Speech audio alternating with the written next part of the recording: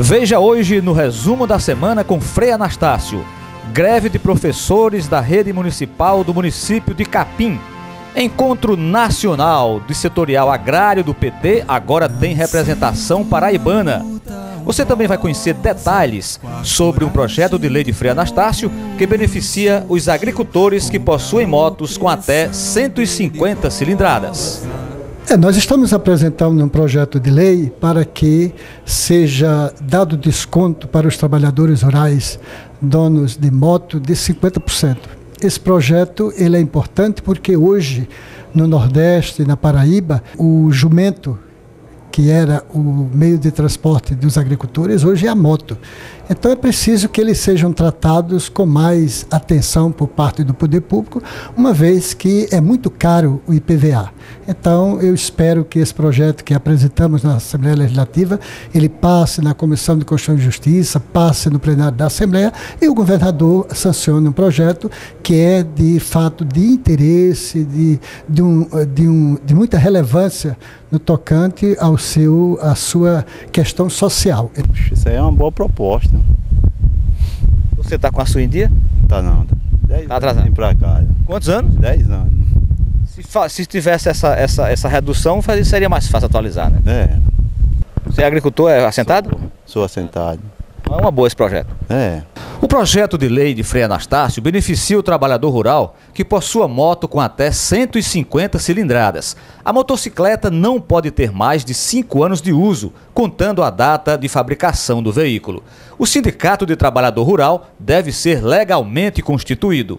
O trabalhador rural deve possuir filiação ao sindicato não inferior a 3 anos fica a cargo do presidente da entidade rural a responsabilidade pela emissão de declaração de filiação à entidade classista. O sindicato deverá manter mensalmente, junto ao Departamento Estadual de Trânsito, o DETRAN, relação atualizada com informações sobre seus filiados. O presidente do Sindicato de Trabalhadores Rurais, que emitiu declaração fraudulenta, vai responder a processo civil e criminal. Nós esperamos o mais breve possível que esse projeto seja aprovado e venha beneficiar centenas de trabalhadores rurais que usam a moto como meio de transporte para a feira, para o roçado, para até mesmo carregar a sua produção. E é importante porque muitos deles deixam até de pagar, estão com IPVA atrasado justamente por falta de condições. Barateando em 50%, se eu acredita que vai ter condições de o trabalhador fazer um esforço e atualizar. Isso é bom até para o Estado recolher, recolher dividendos. Não, é, é importante porque ninguém está aqui querendo a ilegalidade. Dessa maneira, aqueles que devem, eles vão ter a, a condição de legalizar a sua moto e trabalhar tranquilo. E o Estado vai, como você disse, é, recolher é, recu de, de dinheiro né, para os cofres públicos. Greve dos professores da rede municipal em Capim, Frei reivindicação justa? É, nós estamos acompanhando a situação dos professores do município de Capim. Eles reivindicam é, melhoria de salário e, e reivindica aquilo que já é lei a, a, nível nacional, que é o piso salarial é, para o magistério, tanto estado, é, municipal como também a nível estadual.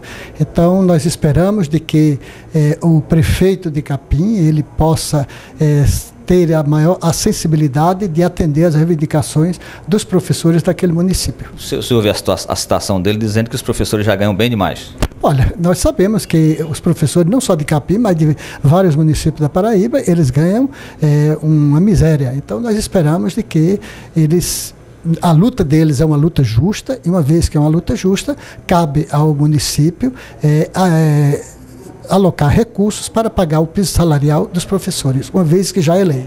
O Encontro Nacional do Setorial Agrário foi realizado no final de, no final de semana em Brasília e a Paraíba tem agora representação na Secretaria Nacional do PT. É, nós estivemos nesse final de semana em Brasília com uma delegação de 26 delegados da Paraíba, nós éramos a segunda delegação a nível nacional, e lá é, participamos do encontro nacional é, de, do setorial agrário.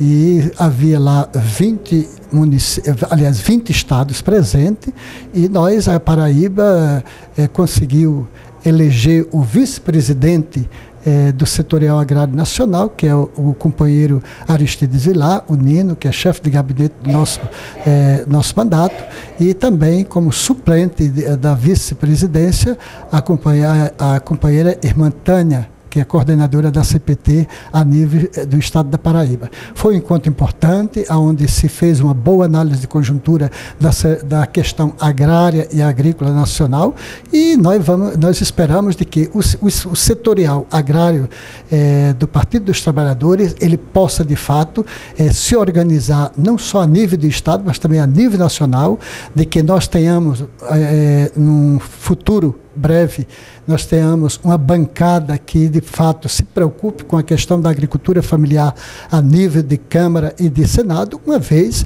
que o, o agronegócio já tem, os latifundiários eles têm é, a sua bancada ruralista. Então é necessário que nós tenhamos uma bancada é, para defender a agricultura familiar a nível nacional. E essa foi o, a, a questão central deste encontro. Então nós aqui na Paraíba estamos de parabéns, uma vez que a nossa nossa representação a, a nível nacional é, foi importante, não só para a Paraíba, mas também para o Partido dos Trabalhadores. Quem saiu ganhando com isso foi o Partido dos Trabalhadores, foi os trabalhadores da agricultura familiar, foi aqueles que lutam por terra.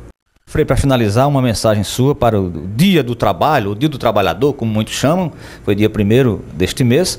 E vamos deixar aqui o senhor que é bem ligado ao trabalhador, luta pelas causas do trabalhador, seja ele de qualquer categoria. Vamos deixar uma mensagem aí para o Dia do Trabalhador, do Dia do Trabalho.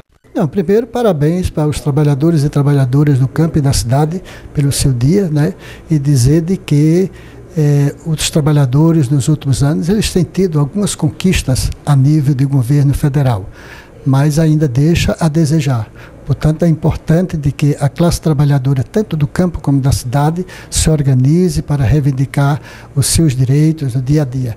E a Paraíba está de parabéns. Hoje existe o Fórum é, dos Servidores Públicos do Estado da Paraíba. Esse fórum tem dado passos e passos importantes e é importante que eles continuem unidos. É importante também de que as associações de trabalhadores rurais, os sindicatos, eles também continuem é, se organizando para ajudar a mudar a realidade é, desse país. Então, aos trabalhadores e trabalhadoras, os nossos parabéns pelo seu dia e dizer de que vamos à luta, porque é com luta que se muda a situação.